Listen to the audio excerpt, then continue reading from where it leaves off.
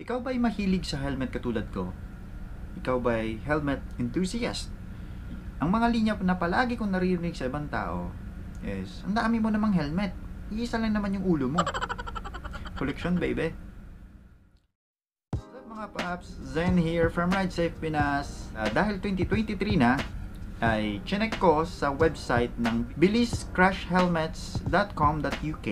Ito po yung isang website na naglalabas ng top 10 na helmets according sa mga safety ratings sa buong mundo. Number 10 sa listahan is Airo. Personally, di ko siya gaanong kilala. Ah, di ko siya ganong hindi ko ganong familiar yung name nito. So si Airo po ay isa po itong Italian brand and ah, yun nakapasok po siya sa top 10. 1986 pa ho ito ah, nagsimula. And ah, isa po siya sa mga producer or number one producer ng mga off-road na helmet. So when you say off-road, yan po yung mga yun, ta- trail, ah, motocross, yun, iba-ibang helmets. Narito ang kanyang mga helmets, di ba? Lulupet. So number 9 napasok sa top 10 na safest brand is Bell. Yun, familiar ako dyan sa Bell kasi nga sobrang tagal niyan sa industriya ng ah, helmet ah, industry. 1929, so napakatagal na nun, di ba? So yung mga best ah, helmet na best selling niya is yung qualifier ah, qualifier DLX ah, MIPS. Isa po itong full face na helmet at yun po yung best selling ni Bell. So mostly ang mga uh, models na available sa kanila is yung mga vintage type. So kung medyo old school ka na rider, yun, maraming pagpipilian ka dyan sa Bell na company. So susunod na list is MT Helmets. So si MT Helmets, isa po itong uh, Spanish brand. Uh, last year nakapasok din po ito sa top 10. Ngayon, nam- nasa 8, number 8 po siya na spot. I think hindi po siya umusog or hindi po siya bumaba or tumaas. If I'm not quite mistaken, ah, number 8 pa rin yata yung ah, listahan niya. Comment nyo lang below kung ah, may adjustment. So, MT Helmets, founded po ito 1968. So, medyo matagal-tagal na rin. At ah, available po siya, according sa kanilang website, sa 80 plus na bansa. So, sa dami ng bansa na yon isipin mo, ang daming helmet nun, ang daming ah, yung logistics niya is malaki talagang kumpanya siya. So, technically, according sa kanilang website, siya po ang largest company ng helmet industry sa Spain. So, humakin mo yun na unahan pa niya yung LS2, di ba? Yung LS2 kasi Spanish brand din po yun. Number 7 sa listahan, yung HJC helmets. Personally, I own uh, also a modular one. And uh, this HJC helmet, it came from uh, South Korea. Uh, kung mayroon ho akong review niyan, pakilink na lang sa taas. Meaning po ng HJC helmet is a Hongjing Crown helmet. So, founded po siya or natatag po siya 1971. So, medyo may katagalan na rin. And uh, nakafocus po sila sa paggawa ng motorcycle helmets ah, sa mga entry level na riders. Yung mga baguhan baga.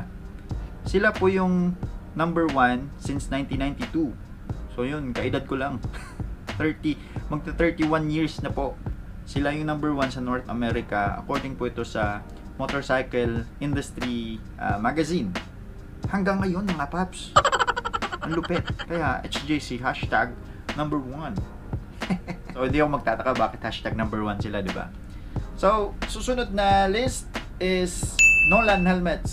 So pag sinabi mong Nolan ah, usual niyan premium di ba? Kasi mamahalin talaga Nolan helmets na to. Ah, galing po siya sa Italy. So Italian brand. Kaya nga Italy. Italian brand. Ah, founded po siya ah, 1972 so yun may katagalan na rin. And ah, ang kagandahan nitong Nolan helmets nasa mismong factory yung helmet niya ginagawa, 'di ba? Kasi yung ibang helmet kasi ah, yung parts sinesend niya sa sinesend nila sa ibang bansa para makatipid sila sa labor. So, itong si Nolan, ginawa niya, nandun na talaga sa Italy yung factory niya. And ah, yung best selling nila is yung model na N100-5 ah, modular helmet. So, yan. Ito yun. Next na list is the Caberg helmets. So, Also, for me, personally, I uh, bought my wife a uh, Coburg Drift Evo.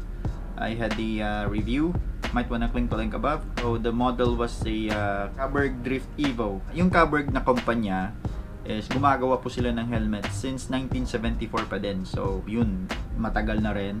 Uh, mostly napansin ko sa Coburg, mga aggressive po yung uh, design niya. So, more on racing yung napansin ko. Personally, maganda siya tingnan talaga. Uh, pagka tinitingnan mo siya, alam mo yung alluring yung yung itsura niya. So, dahil ngayon nabili ko is carbon type, napakagaan talaga. So, number 4 sa listahan is Aray Helmets. Woo! Aray, napaka-aray sa presyo.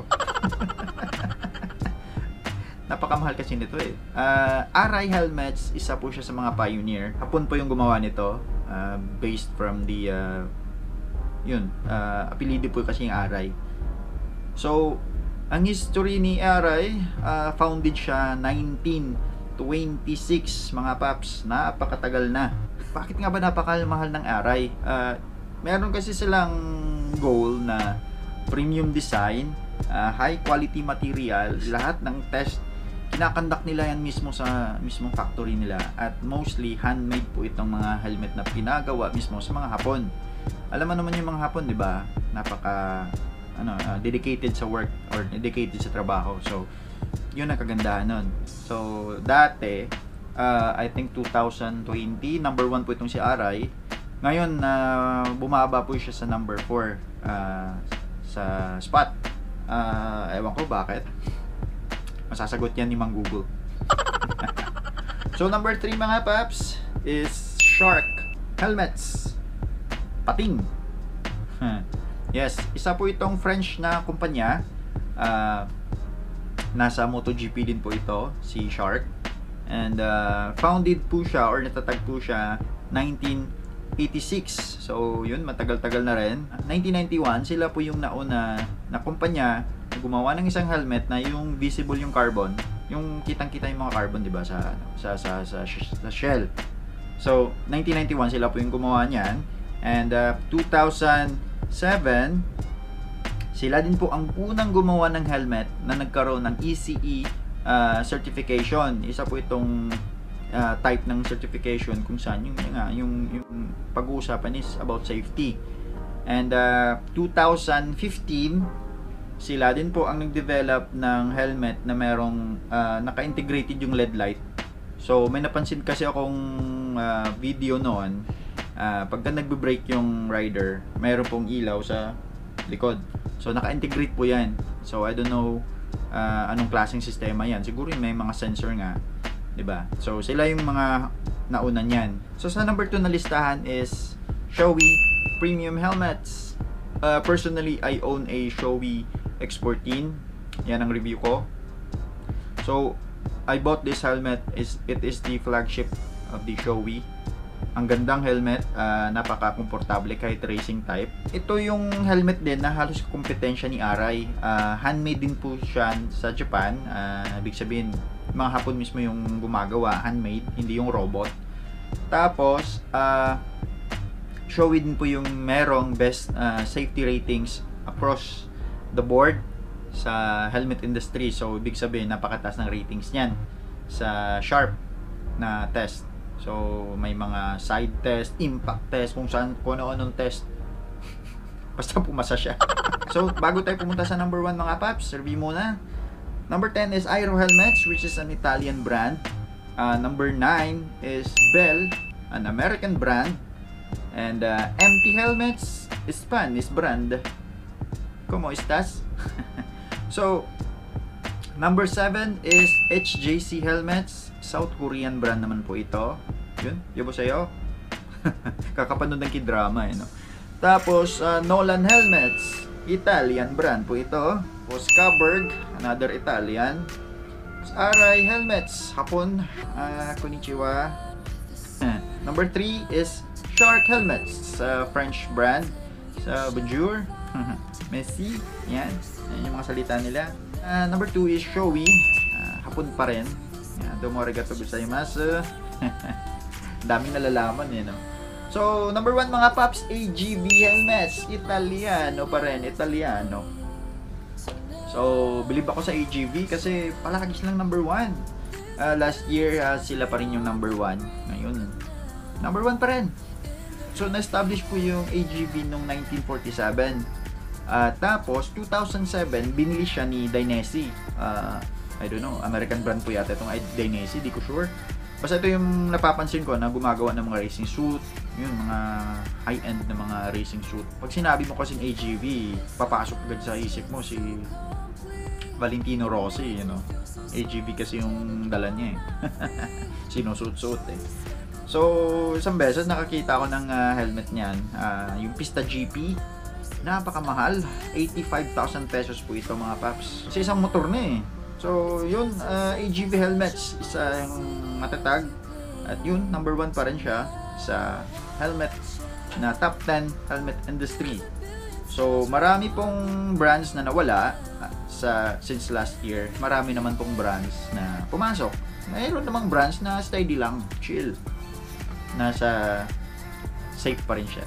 So anyway, iba-ibang helmets, iba-ibang ah, advantage at disadvantage. Personally for me, kung meron kang budget mga paps, dun ka sa proven and tested, di ba? Ah, marami kasi sinasabi sila na bakit ang mahal-mahal ng helmet mo? Eh, pagka oras mo na, oras mo na. Huwag, huwag ganun mga paps. Ang logic niyan is, at least, malesen yung ah, possibility na mapunta ka sa head injury or yung mga gamits mo sa gears. Malilesen yung damage sa katawan mo, di ba? In case na may aksidente tayong ma-encounter. Sana ay ah, nakapag-share ako ng information sa mga naguguluhan o nagbabalak bumili dyan na merong budget. Okay? So maraming salamat mga paps sa panonood. 2023 na. On board pa rin ako sa barko. Thank you mga paps. You all ride safe. And uh, once again, me Zen from Ride Safe Pinas. Nagsasabing, safety starts with attitude. Thank you.